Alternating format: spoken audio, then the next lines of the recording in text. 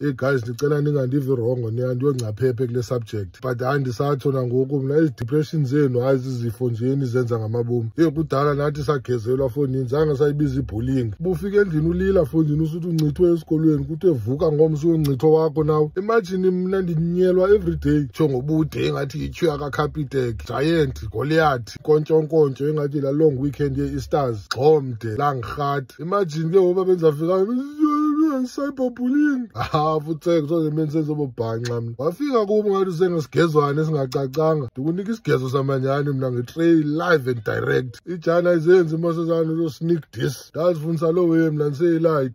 qha nina ke nina la tendency yosigezelisa ngabantu ogqiba ninyamezele stop giving abantu i-free passes i-second chances nezaa nto zenu benefit of the doubt uba umntu uyambona uba sisimenxe sisimenxe ke qha fo nini subuyizulisela apha because ngoku upostpona nje i-heart ache umithela isimenxe somntu usazi uba sisimenxe ogqiba uthuke ngokuyinja xa ivukwe bubunja ubukhala apha uba uwaste i-five years yakho kule relationship kodwa umntu wambona kwi-six months uba isisimenxe somntu esi qha wakhetha umenzela ii-excuses oh, hayi is going through a lot shem uzawuba rayithi xethi bafumana umsebenzi usanosolekela nangubhebhi mama we-firstborn yakhe that's why enjena ogqiba uzawuba miserable abusenza ilive ezidom kwabatiktok ngo-2024 why do men cheat if utsek for nina abantu cheat because they want to cheat but ke asikho lapho namhlanje man guys